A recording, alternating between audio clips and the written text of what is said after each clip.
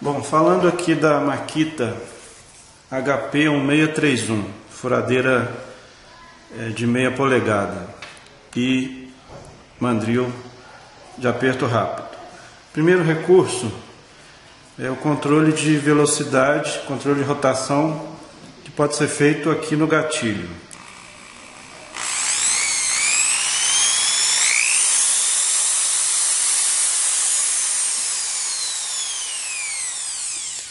Segundo recurso, você tem aqui a reversão, próximo ao gatilho, reversão da rotação.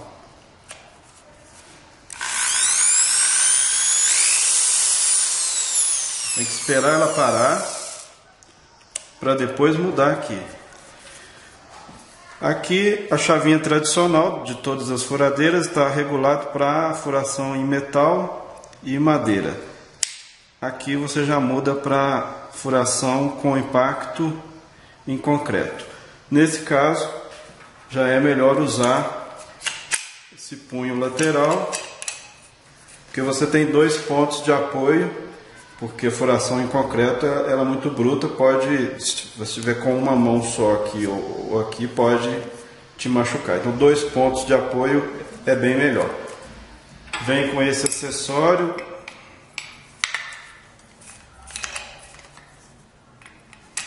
Que é o limitador de profundidade da broca. Aqui você trava, aqui nesse punho você trava duas coisas. O próprio punho na furadeira e trava a, a profundidade que, que esse guia vai, até onde ele vai. Se eu estou desapertando aqui, eu posso mudar aqui. Então, a partir do momento que eu apertar aqui, o punho está preso à furadeira e aqui já está na posição.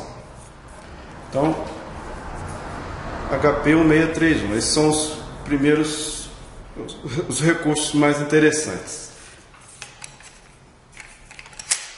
Agora, com relação ao mandril de aperto rápido, que é a, que é a principal diferença, vou fazer três furos aqui para mostrar que ela executa tudo sem, sem nenhum problema. É, broca chata, diâmetro de 18, o aperto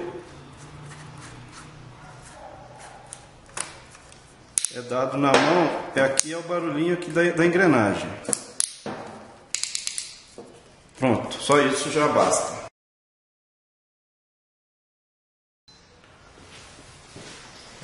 Bom, continuando, primeiro furo com broca chata.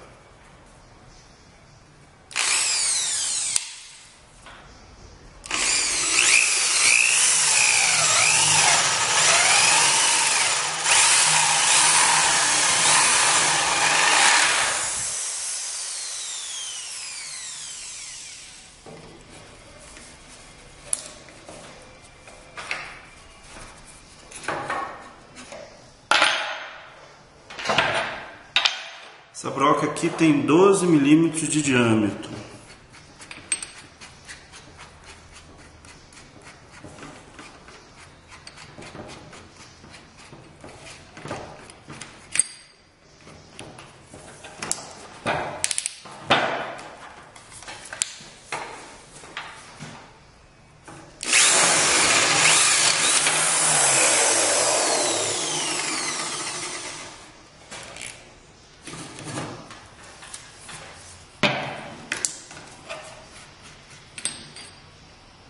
E um bom teste, um bom teste é serra-copo com 54 milímetros de diâmetro.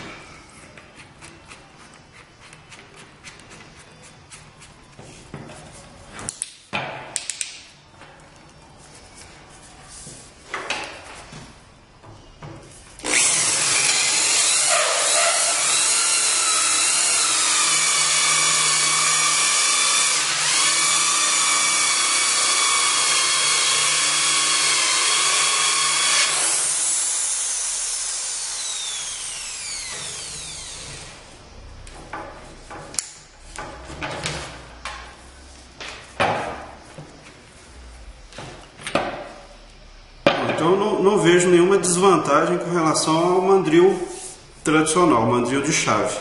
Até agora tem feito os furos que, que tem que fazer sem nenhum problema, ok?